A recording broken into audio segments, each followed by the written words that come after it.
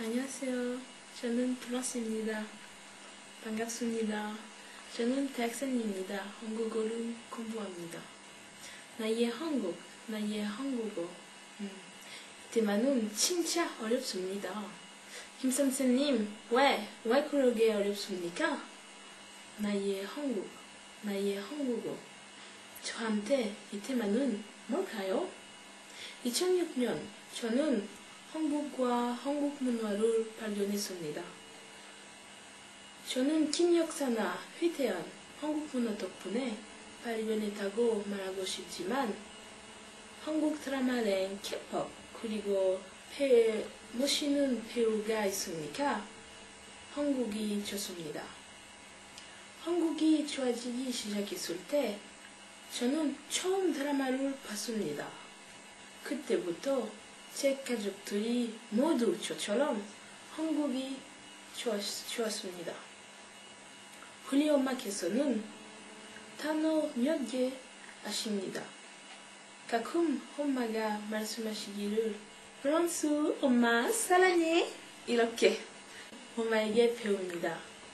그리고 우리 언니가 화가 날 때 말하기를 야 너 죽을래?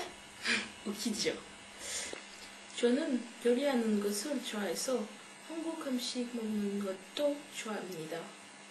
잡채하고 김치하고 불고기.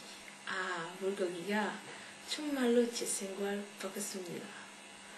누군가 뭐 고기를 먹고 싶으면 저는 그 사람에게 물고기를 컷 먹으라고 말하겠습니다. 여러분 아세요? 두 사람이 먹다가 한 사람이 죽어도 모를 정도로 진짜 진짜 맛있습니다. 물고기는 진짜 맛있습니다.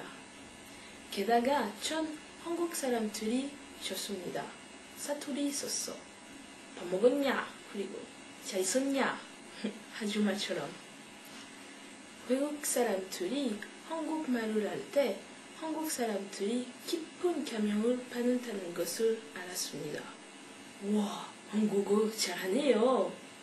근데 어느 날 대학교에서 교수님께서는 한국 사람들에 대해 설명해 주셨습니다.